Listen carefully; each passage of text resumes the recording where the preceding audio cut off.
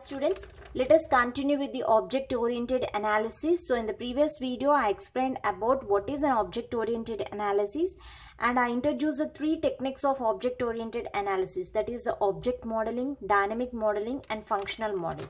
So I already explained about the first one that is the object modeling. Now let us see the second one that is the dynamic modeling. Dynamic modeling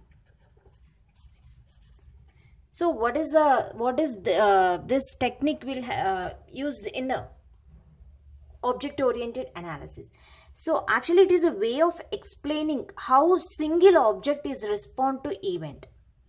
The main the main aim here is going to explain explain how single object responds to responds to events. Okay? So here the events are nothing but the activity occur at a point in time. And coming to the main aim of, of dynamic modeling is to examine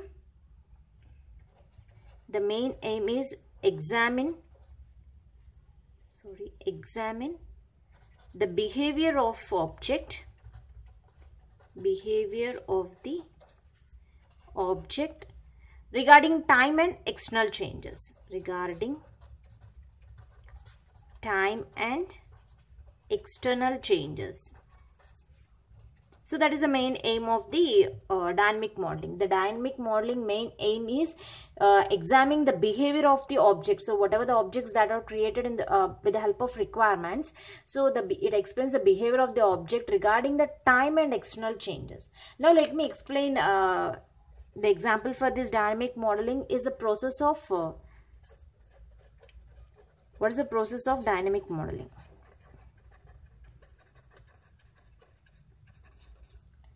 So the first thing is uh, the first step is uh, the state of every object is recognized. First the state of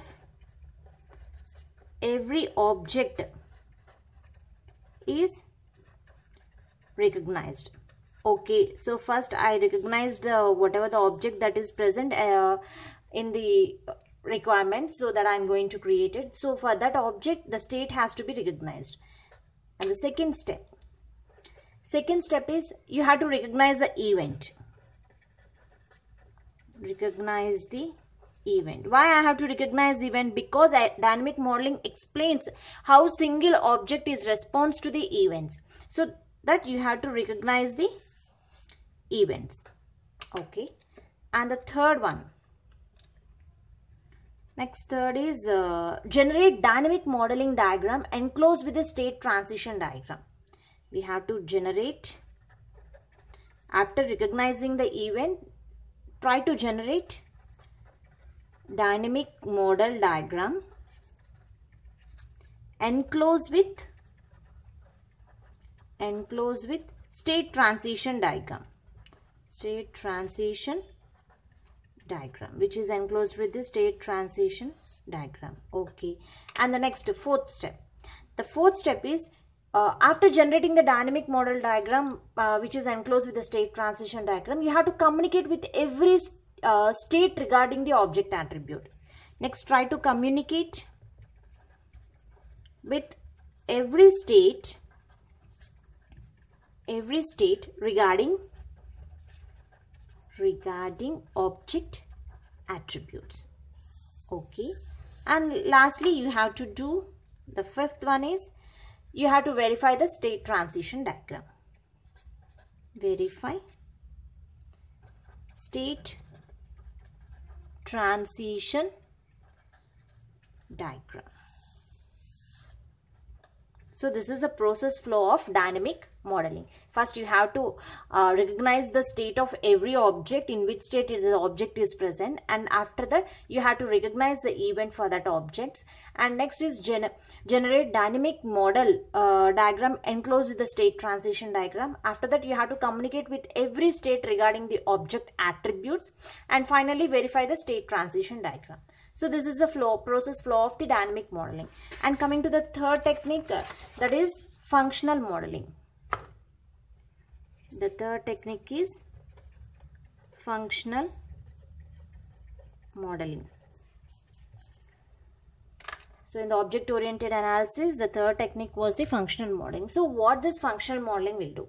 It is the last component of object oriented analysis and it shows it shows the process the processes executed executed in an object.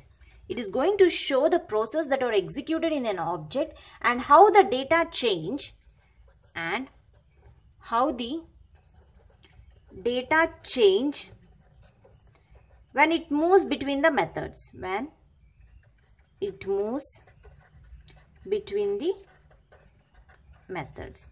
So that you call it as a functional modeling. Now let us see the process of functional modeling let me write with an example. The process of functional modeling. First what you have to do? First you have uh, the all input and outputs are to be recognized. All input and outputs are recognized. So with the help of the requirements you have to first recognize what are the inputs and what are the outputs that you have to be created. So that you have to be recognized. And the second step you have to create a data flow uh, flow diagram to show the functional dependencies between all the inputs. So next you have to create uh, create a data flow diagram to show functional dependencies. Functional dependencies. Okay.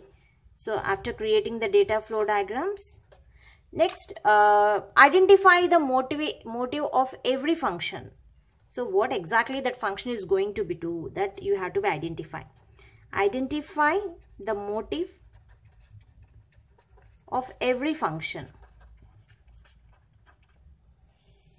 Okay you identify what is the function and what is the operation of the what is the what that function is going to be do so after that you have to identify the constraints also identify the constraints and finally describe the optimization criteria describe the optimization